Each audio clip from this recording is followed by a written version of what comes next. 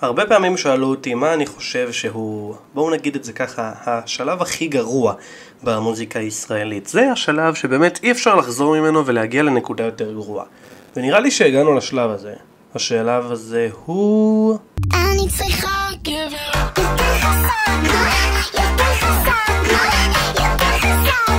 יאיקס.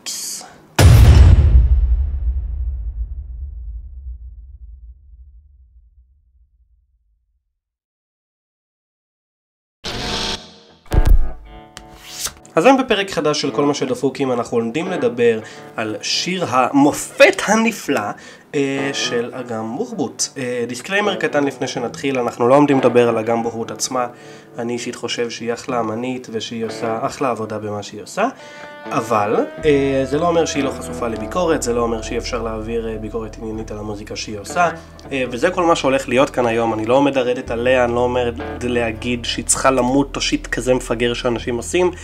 אם אתם עושים את זה, אתם בני אדם נוראים, אל תעשו את זה יותר בחיים, זה לא, זה לא מוצדק בשום סיטואציה או קונסטלציה להגיד למישהו למות ושההורים שלו צריכים להתאבד כי הם מביישים אותך, או שאתה מבייש אותו, זה פשוט דבר שלא לגיטימי, לא משנה עד כמה גרועה המוזיקה.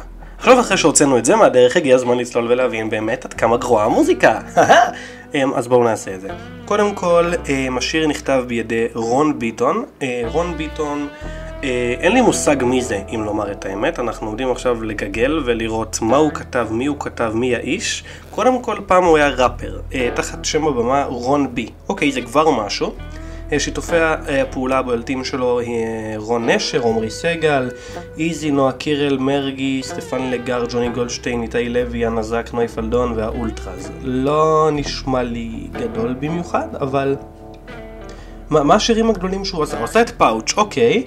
לא יצירה מדהימה, הוא עושה את דיבור נגוע, הוא עושה את לא יוצא למסיבות, הוא עושה את מיליון דולר, את רק בנות, אמ, אנה מג'נונה. אמ, אוקיי, הוא כתב את בית משוגעים, שזה מעניין, אה, זה נראה לי השיר היחיד מכל הרשימה שקראנו כאן עד עכשיו שאני אשכרה אוהב, והוא כתב את רובינזון קרוזו, שגם זה שיר שאני יחסית אוהב. אוי, הוא כתב את בשורות טובות, זה שיר מזעזע גם של אה, אגם בוחבוט, אבל uh, בסדר, הבנו את העניין, הוא לא כותב כל כך uh, טוב לפי הרקע שיש לנו כאן. Uh, אותי מסקרן אם הוא כתב את סגול בהיר, שזה בעיניי שיר מופת והשיר הכי טוב של מרגי. Uh, בואו נראה מי כתב את סגול בהיר.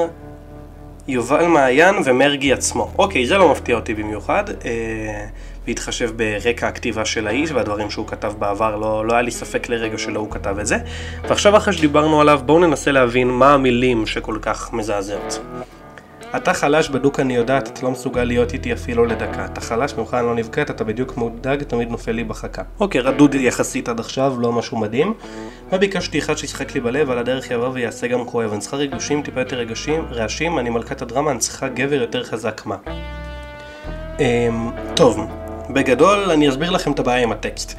אנחנו מדברים הרבה על תרבות האונס ואנחנו מדברים הרבה על דברים שנוגעים באיך אנחנו לא פוגעים באנשים אחרים ולכתוב טקסט כזה שבעצם אומר אני צריכה מישהו שיבוא ויכאיב לי, אני צריכה גבר חזק זה פשוט מקדש את כל המיזוגניות של גבריות רעילה בעיניי אה, ובעצם זורק למערכה דברים נורא נורא נורא בעייתיים. אה, יש כאן ציטוטים כמו אתה לא בכושר, שזה פשוט לעשות cyber shaming לאנשים שהם שמנים או טיפה יותר כבדי משקל, שזה גם לא תקין. מסמס לי בבוקר, שולח פרחים, יא מוזר, דופק לי בדלת, מרים לי פה שלט, הלב בשבילך כבר נסגר. אז כאילו, זה כבר פאק בכתיבה, יש כאן חוסר ב continuity. את אומרת שאת צריכה מישהו שהוא חזק, אבל אז את אומרת לו, אה, אוקיי, הבנתי מה הם עשו פה. כאילו, הוא לא בכושר, שולח פרחים, דופק בדלת, אבל היא סגרה את הלב בשבילו, כי היא צריכה גבר יותר חזק שיתייחס אליה כמו חרא. היא גם אומרת שהוא חלש, ושהוא כמו דג, ותמיד נופל לה בחכה. אוקיי, כן, כאילו, זה, זה, זה, זה כמו מיזוגניה, רק לכיוון ההפוך, היא בעצם מחפיצה אותו. זה נורא נורא יפה. אמ, שוב, ברור שלא היא זו שעושה את זה, אבל אם היא זו ששרה את השיר, אז אתם מבינים את הבעייתיות. Um, עכשיו בחור בשם ינון יהל עשה לה את ההפקה המוזיקלית, בואו ננסה להבין מי הבחור um, ומה הוא עשה, מה הוא עובד. אוקיי, הוא איבד את גולדן בוי, שזה, יש שם עיבוד לא רע בכלל. Um, הוא איבד את אף אחד של בן זקן, לא, לא כל כך מוכר לי השיר. הוא עשה רמיקסים לשירים של בריטני ספירס וריאנה, אוקיי, בסדר.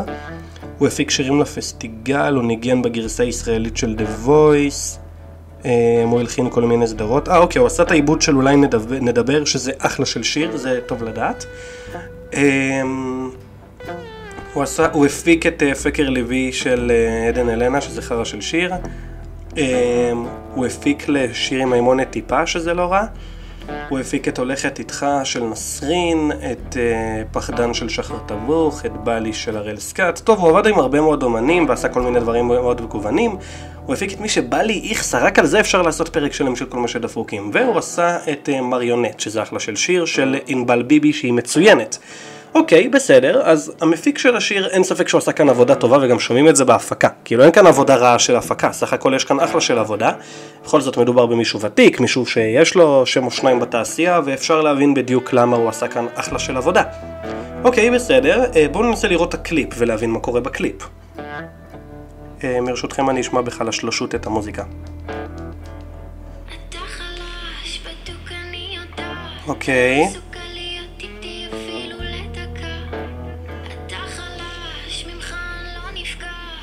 טוב, זה פשוט סוג של ליריק סטודיו רגיל, ליריק מיוזיק כזה, אתם יודעים, עם כל מיני אלמנטים של סטוק וידאו כזה. לא, לא משהו פורץ או יוצא דופן. אני כאילו מחפש את החלק הבעייתי. אוקיי, אז אתה...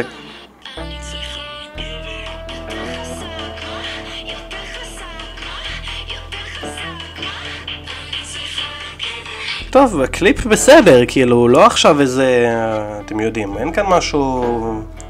זה לא ברמה של אה, דודו פורוק שעושה קליפים, כאילו, ומזעזע את האינטרנט, כאילו, זה יחסית בסדר גמור, אבל נראה לי, נראה לי שהבעייתיות כאן היא יותר בתוכן של השיר, בשירה, ב... בעניין של ה... איך שהדברים באים לידי ביטוי, ב...